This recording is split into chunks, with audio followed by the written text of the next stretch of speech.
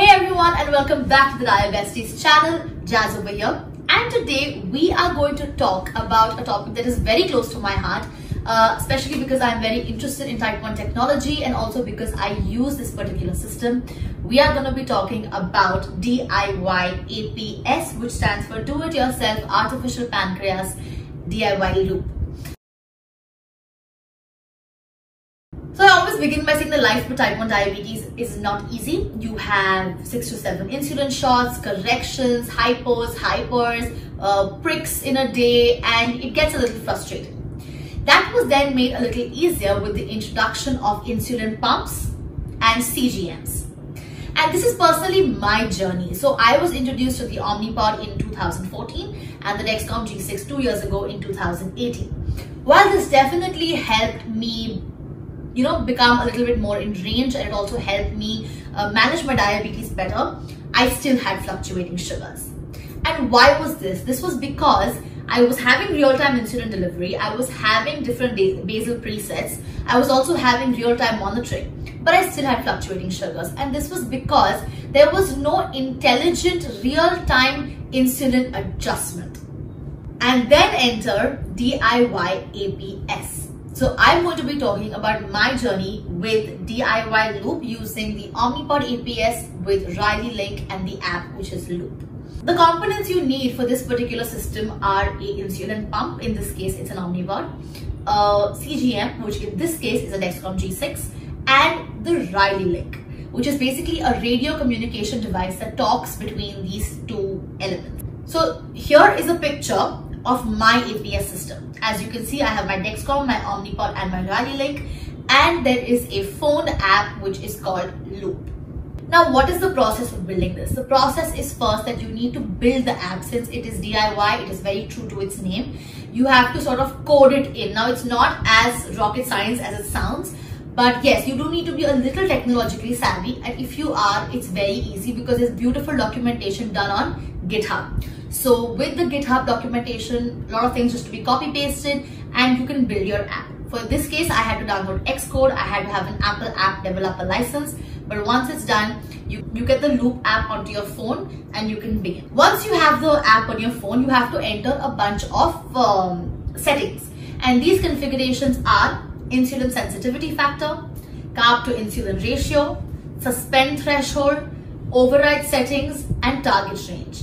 Now these are the different settings that you have to enter into your app so that it can build its algorithm. So simple things like ISF, uh, ICR, you guys are aware. Um, suspend threshold is after what range do you want the insulin to suspend. Override settings are whenever you want to work out or you want to have a high carb meal. It just shifts your uh, target range to compensate for the sugars. And then the magic begins.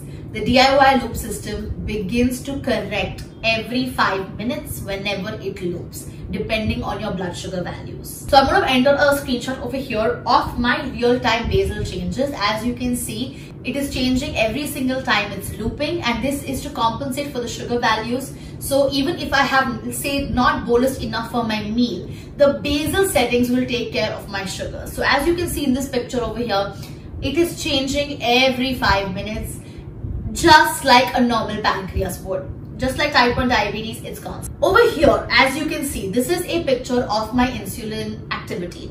As you can see, um, the in the night, the basals are just shifting up and down to compensate. And the spike that you can see is because I have bolus for a meal. So when you do have to bolus, you have to actually manually bolus. And as you can see, the spike shows that. In this image, you can see my graph and that is basically the dotted lines are values and the dashed lines are predictions. So the the basal makes judgments and decisions based on the dashed lines over here. What is the impact of this entire DIY loop system? Minimal hypos, decreased severity of hypos, and of course a greater time and range. The quality of life has improved drastically. There's better sleep, less anxiety, less frustration, um, reduces the burden of diabetes because it makes decisions for you. And the most important thing which I keep telling people is that the APS keeps up with my timetable. For example, with a normal insulin pump, I had different basal settings in the day, okay? The basal timetable was set.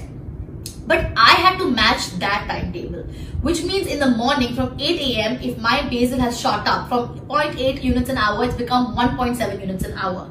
And if I don't wake up to have breakfast, I will fall into hypo. In this way, the loop matches with my timetable. So let's say I want to sleep in one day, I want to wake up at 12.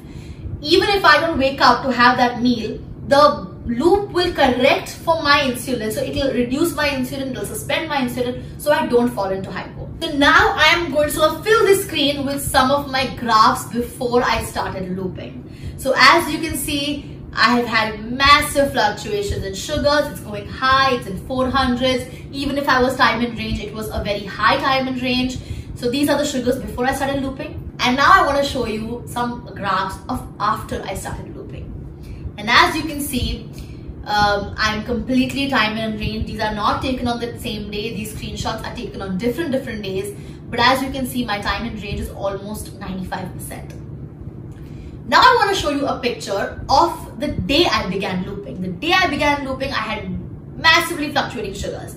And as you can see, the day I began looping, the it started correcting, it started working its magic, and then I was time in range. The pros of the DIY loop system. It's a technological marvel, no doubt about it. You can bolus from your phone and your iWatch, which is very, very convenient. It's very digital and it is very tech savvy as well. So you don't need to carry another device. You have your phone with you always. So you can bolus from your phone.